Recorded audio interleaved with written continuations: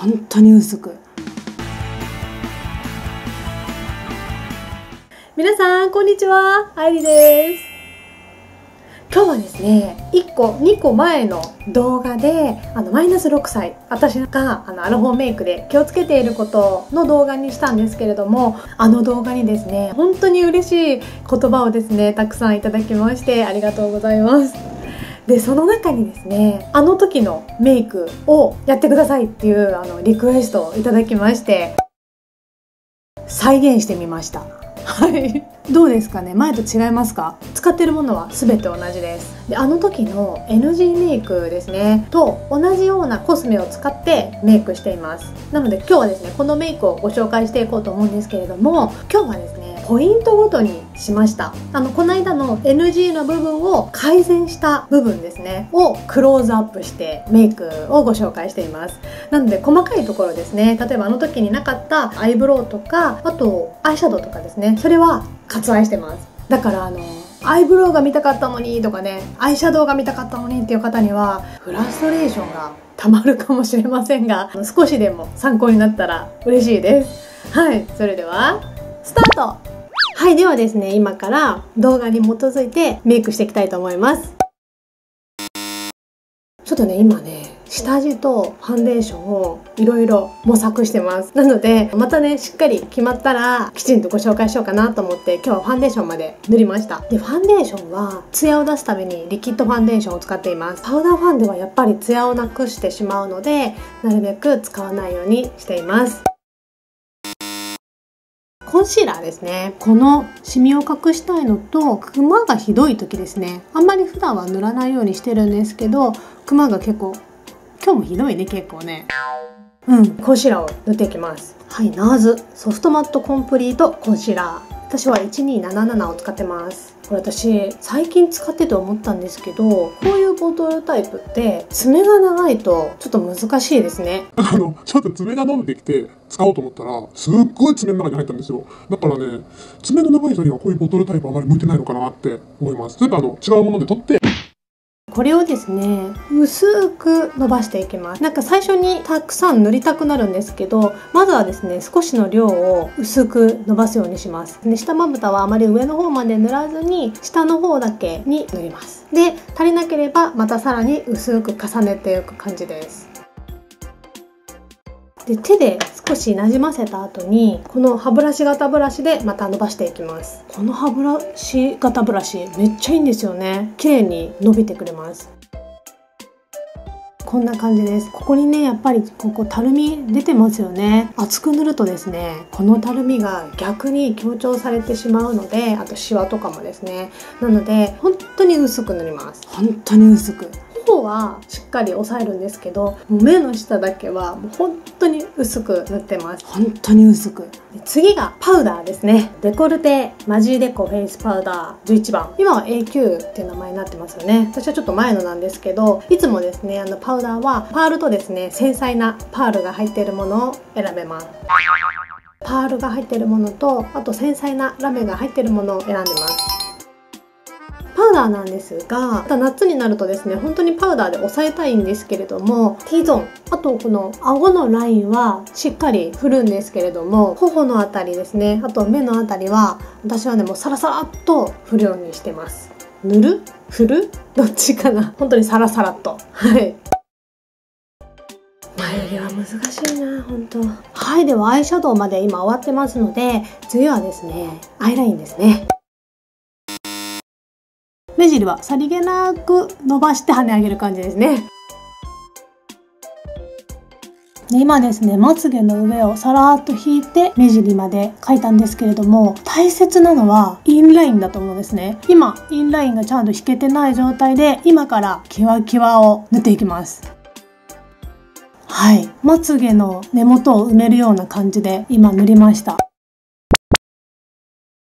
違いますよね。インラインを塗ると本当に目がですねくっきりします。なのでアイラインを描くといっても上の方だけを描くんじゃなくてインラインを埋めるっていうのが私は大切だと思います。私はですね本当にメイクの中でもアイラインが一番肝なんですよね。こんなドアップで語ることじゃないんですけども。上のまぶたのインラインが終わったので下ですね。下は無印のリキッドアイライナーのブラウンを使ってます。下のまたですね際に塗っていきますあの時のメイクはこのリキッドアイライナーだけだったんですけど最近はあのラクシーに入っていたこの E グリップスですねウッドのカラーを下に塗るのがお気に入りですこれあのウォータープルーフでちょっとシャイニーでさりげないブラウンが引けるので私はねこれ結構気に入って今使っていますはい。で、次がハイライトですね。あの、目の下、あと、チークの上あたりに塗っていくんですけども、本当に、もう塗りすぎない。もう本当に塗りすぎない。もう本当に古すぎない。もう私はそれを本当に本当に意識してます。本当に言い過ぎましたね。でまずはですねこの目の下すぐのところですね。さらっと塗ります。これがキャンメイクのハイライター05番ですね。これはもう長年使ってます。さらっと。もうこんなもんです。これはですねあの T ゾーンにも塗ってますはい。で、次に、セザンヌのハイライトスティックをですね、この辺りと顎に塗ります。あんまりここの方まで塗ってしまうと、顔の幅がですね、広く見えてしまうので、この辺りまで塗る感じです。はい。で、次にシェーディングを塗ります。キャンメイクシェーディングパウダー01番ですね。私がここのですね下ぶくれラインを隠すために塗っているのでもともとね顔がシュッとされてる方は正直言ってシェーディングいらないんじゃないかなって思います。この年になるとですねあえて影を作る必要はないのかなって私は思います。はい。特に最近はあんまり塗らないようにしてますね。だから本当にこんな感じ。でチークですね。チークがリセリシェのフォギオンチェックス PK801 番。これを NG メイクではすごくシャープに塗ってるんですけど、私はですね、実際にはあの中心側に丸く塗るようにしています。笑った時に出る頬骨の高さの位置ぐらいで丸く塗ります。はい、こんな感じですね。ほんのり、本当に血色感を足すぐらいに塗ってあります。はい、で次はリップですね。リップはですね塗る前にきちんと保湿しておきます。私はですねいつも使っているのがキールズです。なんかこれ汚いちょっと汚いなパッケージが。化粧する前に塗っておくことで潤うので私はいつもこれを使っています。であの時に使ったリップがですねキャンメイクのクリームチーククリア CL01 ですね。あこれはあのチークにもリップにも使えるもので見た目は真っ赤なんですけれどクリアっていうだけあって本当に透き通った感じで赤くついてくれるのででも真っ赤じゃないっていうこれはすごくおすすめです。あの時の動画もですねあの赤赤に合わせてこれを使ってます。で塗る時もですねがっつり塗るっていうよりかはポンポンポンってしながらなじませてあのふんわり唇もふんわり見せるように塗っています。土台をですねしっかり保湿していればこれだけでも十分あのナチュラルなツヤが出るんですけれども私はですねこの上にキャンメイクメルティースムースオイルグロス02番を塗ります。これもですねさらっと塗ってます。はい。そうあの時のメイクはこれです。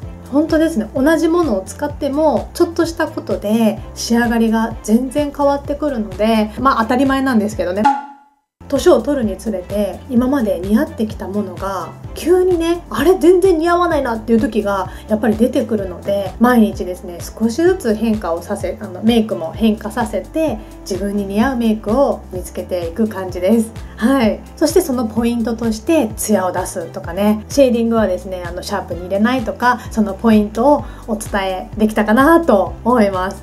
私も本当に毎日勉強です。うん。今日はねちょっと真面目な動画でしたよね。